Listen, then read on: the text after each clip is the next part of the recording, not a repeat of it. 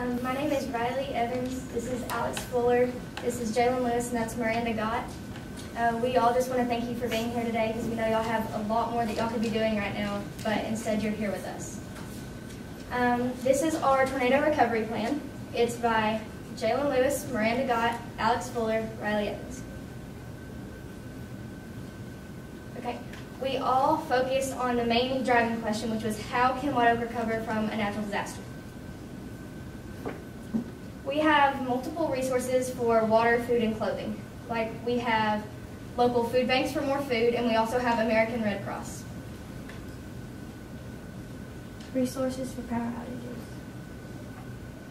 For power outages, contact UREC. SWEPCO will also help. Resources for shelter. Set up shelters in high school gyms, churches, or other high-capacity buildings in a safe zone. Resources for the pets. You can send them to county animal shelters in Gregg, Rusk, Upshur, and Harrison counties.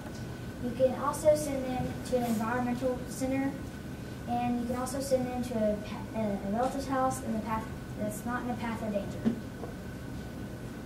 This dog is only one of many animals that will be in the path of danger during a tornado. Resources for the disabled. Give them all the care and help they need during and after the recovery of the tornado. You can also send them to a special hospital if injured called No More Fallen Angels in Houston, Texas. And always remember disabilities, disabilities are gifts. Resources for the injured. Contact EMC as soon as possible if any medical help is needed. If for some reason ETMC is not available, then contact Good Shepherd, or it is not available, then contact Good Shepherd Medical Center. If any help is needed with funds, ask the state for help. And these are all sources. Is there any questions? Thank you for your time.